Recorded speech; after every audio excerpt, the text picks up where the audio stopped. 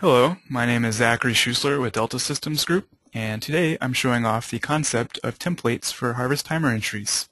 We found ourselves tediously entering timer entries for similar tasks. A good example of that is with our PC support technicians.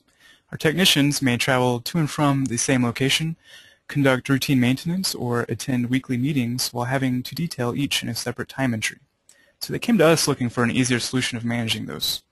What we came up with was these templates, and we'll go ahead and create one now. And we'll just create a generic template for travel. We'll Put that in our DSG project and under the travel job. And we have a very harvest-like widget here, just a start and end time.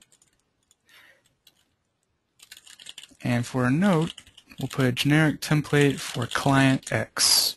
Go ahead and save changes. And now we can go to submit time entry and we have a little drop down box here with the templates. See the one we just created. Click that. It will auto-populate all the fields for us. Go ahead and edit anything you need, but uh, for now, let's go ahead and save. Now, let's hop on over to my Harvest account. And we'll see that it made it through just fine.